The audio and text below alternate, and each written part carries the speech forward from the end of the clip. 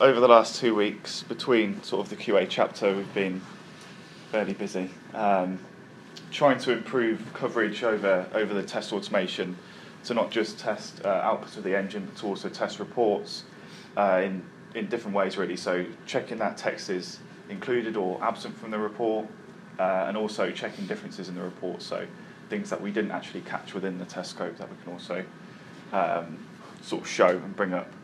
So um, the first thing I'm going to show here is Harpreet's done some work with the with the LISA changes. So now within the pension method API test, it now checks for um, certain things in the reports or if certain things are not in the report. So for example, here we have an assertion making sure that uh, that's not included in the report. Um, over here we've got, uh, no, this one.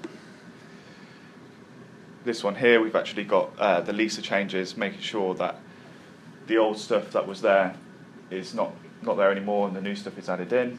Um, so what, what we can do now is sort of add assertions in and make sure that the reports are, the report changes we're making are actually included or the stuff we're taking out of the reports is actually removed. And um, just want to sort of go on to straight into the, the diffs. So if we if we don't catch anything in the assertion, so for example, there's sort of a blanket change across more than one test, or every report's changed, or it's got a very particular um, criteria, we diff the reports from a certain date. At the moment, it's from yesterday. So what I've done is changed yesterday's report, and then this diff has found that there's loads of loads of differences. Um, this is differing sentences, so the whole sentence, so even if only one word changed in the sentence, the whole sentence says it's changed, to try and give a little bit of context. Then I, I thought this wasn't sort of enough, because you, don't, you don't really have enough context, like what does this number mean here, and, and things like that. So what, what we've done is created the same HTML report, but with the diffs highlighted of what's been removed, what's been added.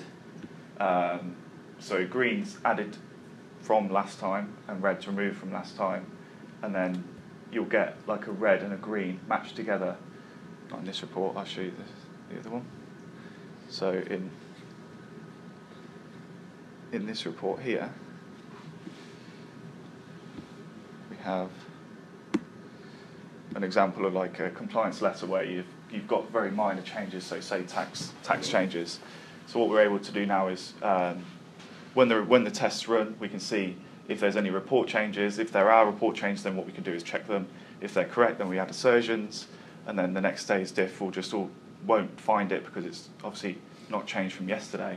And then we've got that quality assurance going forward that that was the right change or that was the wrong change. So we can sort of start catching things earlier. Um, and the idea is that when we do a release um, of the engines, then we'll set that date so we can say as of last week, nothing's changed, nothing's changed, nothing changed, because that's what sort of we'll be giving as evidence is from the last release to this release, this is what changed, not from yesterday to today. It's too small of a scope. Um, so yeah, that's that's on the report side. Um, what we've also done now is each night the two Jenkins jobs that run the automations, the API tests, they now run with all the reports and save them all to S3.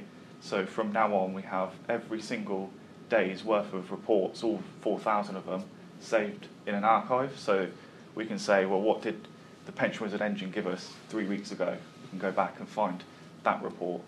Um, we can also then diff against different periods of time. So we say over the last three months, what, how has our report, how has our advice changed based on this customer? um, which might be a good idea to sort of add the um, add the people, uh, the personas that we've got, add those as tests, so then we can say, as this persona, this person's advice has changed in this way.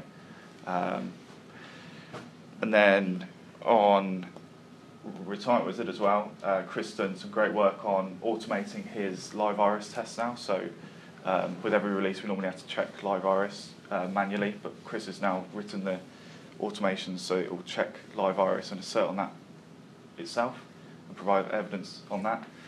Um, also, we've started migrating the old retirement wizard end-to-end tests across into the new one. So that's now we're going to start getting more coverage on the retirement wizard front end.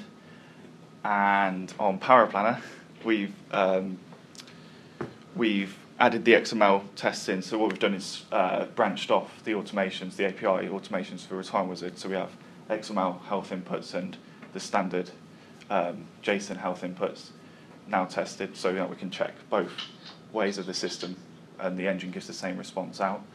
Um, and the end-to-end on Paraplan now actually generates advice, so we can go through and make sure that the advice is okay every every single day.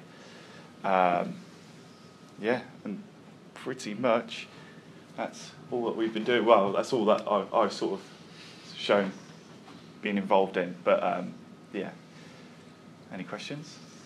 Um, see, there's like two types of changes, and there's like changes that are, are, errors, and then changes that are based on, let's say, it being a different day or a different figure, let's say, that makes the calculation slightly different.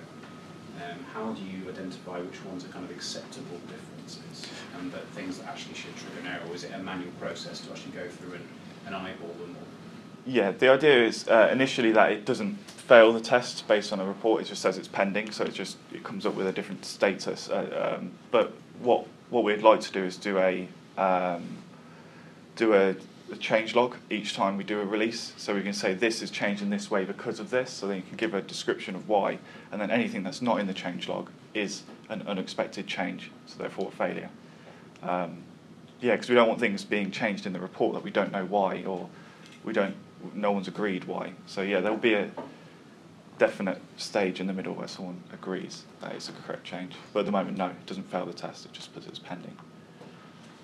Does this get updated then on the test approach document so that when we're talking to new customers, we're explaining how rigorous our testing is around releases, etc. Because the, the diff thing and everything is really useful. Yeah, so so the diff thing is kind of new this week. Um, so that document hasn't yet caught up.